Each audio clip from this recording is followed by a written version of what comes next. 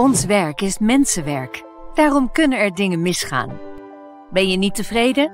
Ga dan eerst met de persoon of manager van de afdeling in gesprek. Samen komen we er vaak uit. Als je dat lastig vindt, schakel dan de cliëntvertrouwenspersoon in. Die geeft jou hulp en steun.